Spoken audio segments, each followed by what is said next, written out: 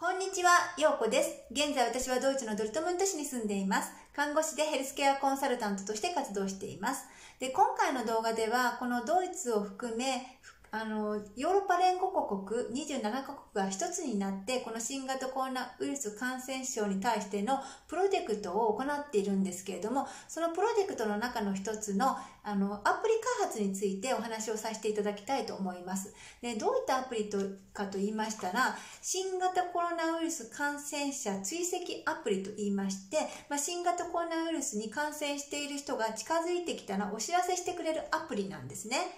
で、正式名が Pan-European Privacy Preserving Proximity Tracing と言いまして、まあ、略名が PEPPPT と言います。で、まあ、このね、あのアプリの開発にあたっては、ドイツを中心にヨーロッパ8カ国の、えっと、130人の研究者と企業によって開発がなされています。で、まあ、ドイツからの協力は、えっと、感染症研究所でありますロベルト候補研究所、フラウェンホーファー研究所、ベルリン工科大学、エアフォルト大学、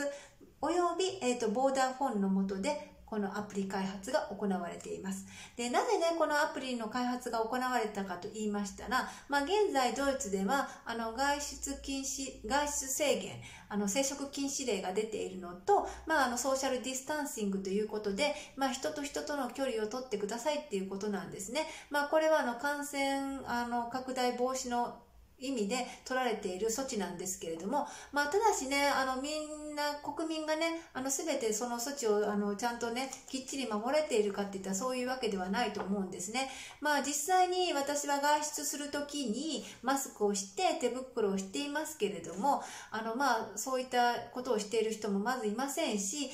あとね、まあ、ソーシャルディスタンシングっていう形をね、あの、取るようには心がけていますけれども、まあ、実際にね、あの、まあ、自分が心がけたとしても、あの、それが確実にできているかっていうね、あの、不安もありますし、またね、人が近寄ってきたら、まあ、それはね、あの、守れていないことになりますよね。で、しかもね、外に出たら、まあ、誰が感染しているかっていうのは分からない状況ですよね。まあ、そういう状況の中ね、まあ、このアプリをね、使うことで、あの、確実にね、もう一人一人がね、まあ、ソーシャルディスタンシングなり、まあ、あの、早めにね、あの、この、あの PCR テスト PCR っていうね検査を受け受けるねあのきっかけにもなるんじゃないかと思うんですけれども。でこの,、えーと、このアプリに関してなんですけれども、まあ、実際にねどのようにねこのアプリを使っていくかっていうこととこのどアプリのあの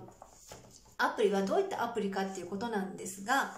まあ、あの、私が、まあ、実際に、あの、生活する中で、まあ、誰と、誰が、あの、感染しているかわからないと、あと、まあ、感染者と距離を置きたいと思っていてもわからないですよね。で、このアプリを、じゃあ、使用したいっていうことになりますね。で、その時に、私はまず、アプリをダウンロードします。で、その後に、自分の、あの、情報をね、入力します。で、このね、あの、アプリに、あの、入力した情報は、すべて、あの、匿名っていう形で、まあ、ID であの処理されるっていうことなんですね。で、その後、あの、まあ、例えばある人と特定の時間、距離で、あの、一緒にいた場合、私の持っている Bluetooth と相手の Bluetooth が作動して、まあ、それらすべての情報が、まあ、サーバーに送られて、まあ、データとしてね、蓄積されるっていうことなんですね。で、ここで言われているああの特定の時間距離っていうことなんですけれどもこの特定の時間距離っていうのは、まあ、ロベルト広報研究所でのこの定義ですよ濃厚接触の定義としては、まあ、15分間2メートルっていうことですので、まあ、おそらくがあのここの私の読んだ記事ではねちょっと記されていないんですがまあたおそらくこの、あのロベルト候補研究所がね定義している15分間2メートルっていうのがねあのポイントになるんじゃないかなと思います。で、まあ、あの、その後にね、もしね、自分が、あの、感染している人と接触していたら、あの、まあ、匿名っていう形になりますけれども、まあ、自分が感染者と接触していたっていうね、お知らせが来るそうなんですね。まあ、あの、ただね、この感染者と接触していたかどうかっていうことなんですけれども相手がね相手なり自分が自分自身でこの感染者でありますっていうことをね登録していない限りはねあのこういったねお知らせはねあの届かないと思うんですよねですからこのデータね初めのあのダウンロードして登録する時にまあおそらく自分自身があの感染者であるかないかっていうことはね入力しないといけないんじゃないかなと思います。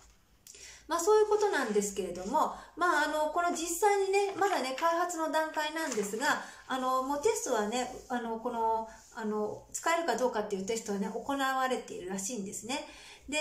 えっ、ー、と、研究所、研究にね、関与しているフラウォンフォーファー研究所が、あの、テスト要員として50人の兵士のもと、えっ、ー、と、この特定の時間と空間を置いて、まあ、あの、きっちりこのね、アプリが作動するかね、確認しているっていうことなんですね。まあ、こういう段階なんですけれども、で、実際に使われるのがもう4月の16日からっていうことらしいです。で、まあ、あのね、このアプリによって、まあ、先ほど私が述べました通り、まあ、自分が感染者と接触したかどうかを知ることができますよね。まあ、それによってね、あの、まあ、それプラス何らかの新型コロナウイルス感染症の症状があれば、まあ、自分はその PCR 検査を受けないっていうね、あの、動機づけにもなりますよね。ですから、早い段階で、あの、感染をね、広げない、あの、前にね、あの、早い段階でね、PCR 検査をね、受けに行くきっかけになると思います。またね、自分がね、そういうアプリに登録してるっていうことでね、まあ、意識づけにもなりますよね。あの、自分は人と距離を空けないといけないとか、まあ、相手もね、そういう意識が高まりますよね。まあ、そういうことでね、あの、ソーシャルディスタンシングもね、確実になるんじゃないかなと思います。まあそういうことなんですが、あのー、まあこのアプリに関してはね、あのー、例えばちょっとデータがね、本当に確実にね、漏れないのかどうかっていう心配なんですけれども、まあ現在のところは、まあ厳重なね、セキュリティの、まあのー、状況であの管理されるっていうことが伝えられています。で、まあ個人名は特命されあ特定されない ID の使用ということなんですね。で、えっと、まあ、あとね、このこのアプリに関してはこの新型コロナウイルス感染に関してのみであって、まあ、他の疾患においてはね使われることがないということなんですね。でまたねあの国境を越えた場合はねこのアプリもね無効になるっていうことになっています。まあ、ドイツ政府は、まあ、このアプリの使用によってね多くの、あの、人があの自発的にこのアプリを使用して、まあ、自分自身や他の人をね、ま、守ることをね、まあ、感染から守ることにね伝えて伝え努めてもらいたいっていうことがね伝えられています。